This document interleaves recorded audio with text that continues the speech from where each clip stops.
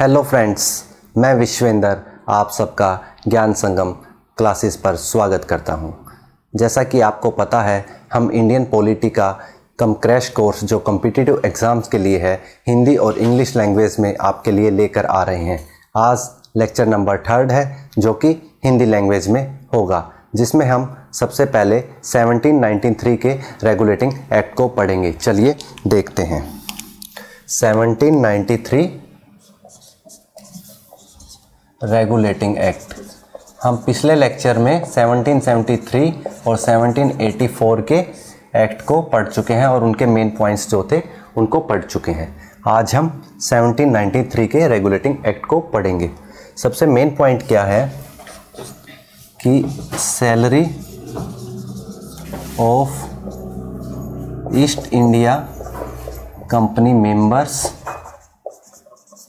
और ऑफिशियल्स अब इंडिया से ही ड्रॉ की जाएगी मतलब इंडिया के ही खजाने से ली जाएगी। ये कब तक रहेगा? ये 1999 तक रहेगा।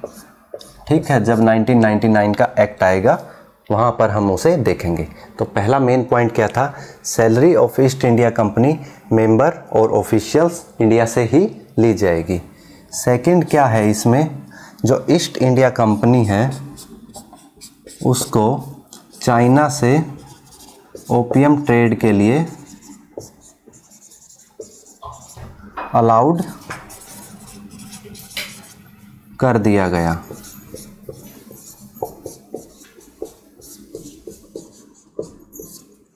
और तीसरा जो पॉइंट है इसमें ईस्ट इंडिया कंपनी का चार्टर जो है ईस्ट इंडिया का चार्टर 20 इयर्स के लिए एक्सटेंड फर्दर एक्सटेंड कर दिया गया। एक्सटेंड कर दिया गया। तो किसी भी कॉम्पिटिटिव एग्ज़ाम्स हो, चाहे एसएससी हो, चाहे एचएसएससी एचटेट हो यूजीसी नेट पेपर फ़र्स्ट हो, या और भी सीटेट हो, या और भी कोई टीचिंग एग्ज़ाम्स हो, ठीक है? या फिर हम यूँ कहें स्टेट सिविल सर्विसेज़ के एग्ज़ाम्स हों, या यूपीएससी के एग्ज़ाम्स हों, उनके फाउंडेशन में ये बहुत ही यूज़फुल हैं ये लेक्चर्स और अदर टीचिंग एग्ज़ाम्स हैं, उनके लिए ये सब कुछ हैं ये लेक्चर्स तो 1793 के रेगुलेटिंग एक्ट में तीन मेन बात रही, पहली रही salary of East India Company के जितने भी मेंबर्स थे या ऑफिशियल्स थे, उनको अब इंडिया से ही मिली थी, मिलेगी। मतलब इंडिया को अब और तरीके से लूटा जाएगा। दूसरा क्या है कि चाइना के साथ ओपीएम ट्रेड को अलाउड कर दिया गया। तीसरा, उनका जो चार्टर है, उसको 20 साल के लिए एक्सटेंड कर दिया गया। अगला इम्पोर्टेंट बहुत ही इम्पोर्टेंट जो नेक्स्ट आया, ये इतना इम्पोर्टेंट नहीं है। इसके बाद एक इम्पोर्टेंट बहुत ही चार्टर एक्ट आते हैं।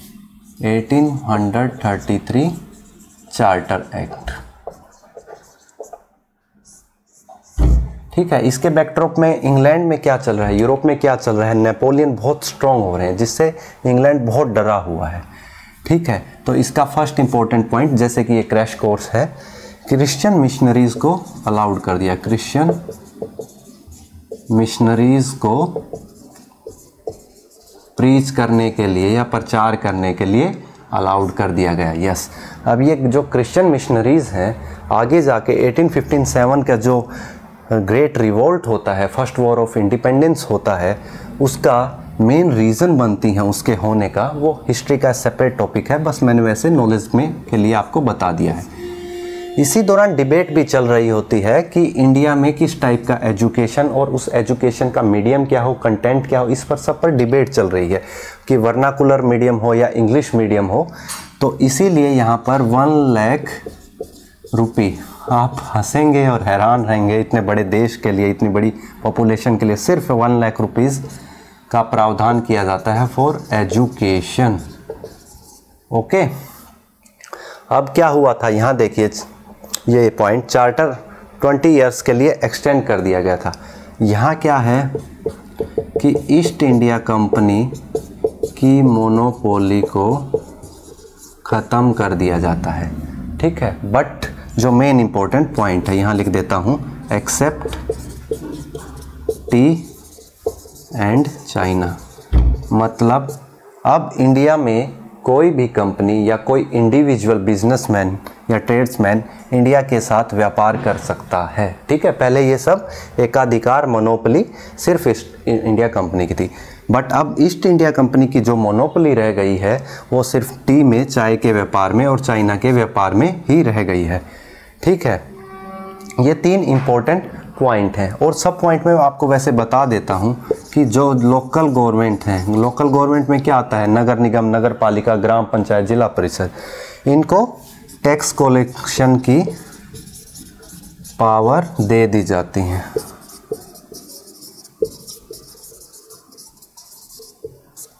ठीक है। इसके बाद क्या किया जाता है? जैसा यहाँ किया था कि चार्टर 20 इयर्स के लिए एक्सटेंड किया जाता है, उसके बाद East India Company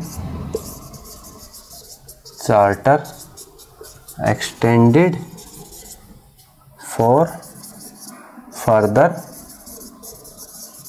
20 years इसका मतलब क्या हुआ कि ईस्ट इंडिया कंपनी का चार्टर जो है 20 साल के लिए एक्सटेंड किया गया है। तो इसका मतलब क्या हुआ? 1813 में आया है। तो डेट इज़ अप टू 1833 ठीक है? तो इस तरह 1813 के जो चार्टर एक्ट के मेन प्रोविजंस थे जो मैंने फटाफट आपको दो तीन मिनट में बता दिए हैं और 1793 का रेगुलेटिंग एक्ट भी आज हमने पढ़ा। तो आज हमने मेनली दो एक्ट कवर किए। एक तो रेगुलेटिंग एक्ट किया और फ़र्स्ट चार्टर एक्ट, अगर आपसे कोई पूछे कि कौन सा था तो फ़र्स्ट चार्टर एक्ट 1813 था। ये बहुत इम्पोर्टेंट है। ठीक है, ये बहुत इंपॉर्टेंट है Christian missionaries one lakh rupees education के लिए ये बहुत इंपॉर्टेंट पॉइंट है। ये तीन ऊपर के सबसे मेन पॉइंट हैं। तो आप इन्हें बार बार रिवाइज़ कीजिए और हो सके तो हमारी वीडियोस को देखकर खुद के नोट्स प्रिपेयर कीजिए, जो आपको बहुत ही बेनिफिशियल होंगे। तो अगले लेक्चर में हम 1813 के बाद 1833 के चार्टर एक्ट से स्टार्ट करेंगे। तब तक आप पीछे की वीडियो और इस वीडियो को बार बार देखिए रिवाइज़ कीजिए और नोट्स बनाइए। और जो भी प्रॉब्लम आ रही हो कमेंट सेक्शन में या मेरे व्हाट्सअप नंबर पर मुझे डायरेक्टली मैसेज कीजिए। प्लीज़ इस टाइप के कोर्स के लिए हमारे चैनल को सब्सक्राइब कीजिए वीडियोस को शेयर कीजिए और लाइक कीजिए। हमें सुनने के लिए आपका बहुत बहुत धन्यवाद। Thank you